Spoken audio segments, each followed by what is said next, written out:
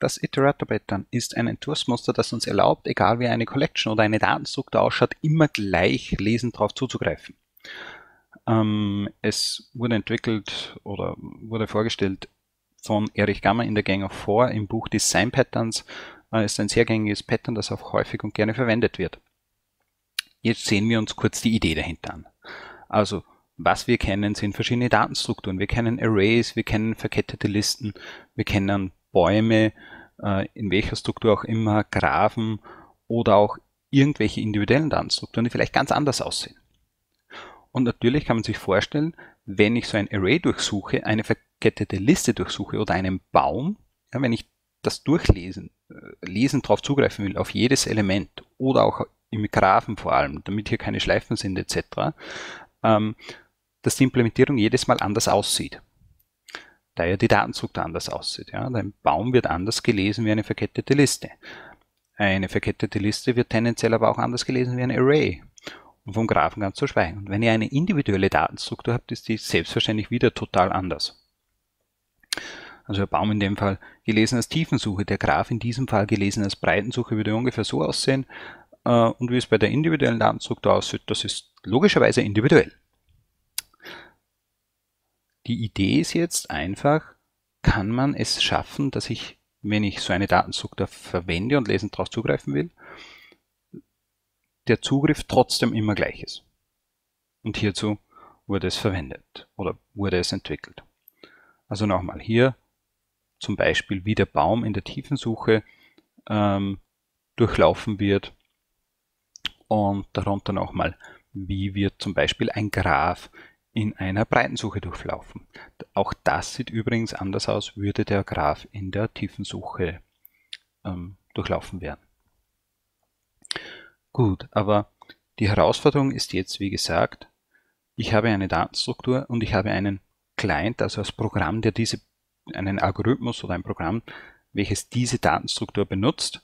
Und die Frage ist, wie kann ich das machen, dass diese Benutzung, dieser lesende Zugriff immer sehr, sehr einheitlich ist. Also, die Lösung ist jetzt folgendes. Es gibt einen Baumenumerator, also eine eigene Klasse, eine eigene Funktion, die mir erlaubt, diesen Baum zu lesen. Und es gibt für, einen, für den Graphen einen Graph-Enumerator. Der Baumenumerator weiß, wie er diesen Baum liest. Der Graph-Enumerator weiß, wie er den Graphen lesen muss. Ja, und wenn ich ein Array hätte, wüsste das Array-Enumerator, wie er das Array lesen muss. Und diese Enumeratoren haben eine einheitliche Schnittstelle, eine einheitliche Definition, was diese können müssen, was diese nach außen zur Verfügung stellen. Und dadurch ist der Client super happy, weil er eine, eine einzige Art des, des Zugriffs hat. Es gibt so ein Problem, wer erzeugt diese Objekte, wer erzeugt diese Iteratoren, kann man das nicht auch verallgemeinern? Und jetzt kommt das Iterator-Pattern äh, so richtig ins Spiel, denn einerseits haben wir die Datenstruktur, auf der anderen Seite den zugehörigen Enumerator.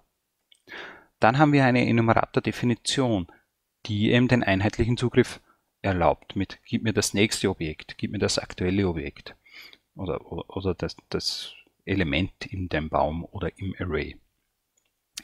Aber auch die Datenstruktur bekommt eine Enumerable-Definition, also eine einheitliche Definition und das hat den Vorteil, dass die Datenstruktur selbst den Enumerator erzeugt. Die Datenstruktur selbst weiß ja, wie sie aussieht und wie sie gelesen werden soll.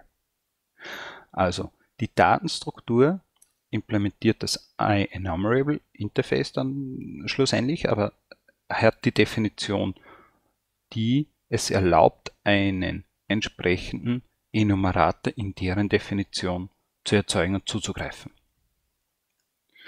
Der Client benutzt jetzt nur die beiden Definitionen sozusagen. Es kommt irgendeine Datenstruktur und die Datenstruktur durch die Enumerable-Definition, die graue hier, weiß ja der Client, okay, wie kann ich auf diese Datenstruktur lesen zugreifen und erlaubt sich damit einen Enumerator zu erzeugen. Und zwar den Enumerator hier herum, der zu dieser Definition, äh, zu dieser Datenstruktur passt.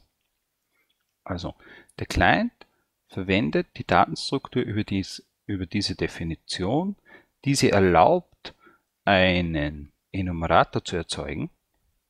Dadurch wird in Wahrheit der konkrete Enumerator für diese Datenstruktur erzeugt und diese dann zurückgeliefert und der Client kann mit diesem Enumerator über die Datenstruktur drüber lesen. Und zwar immer auf die gleiche Art und Weise.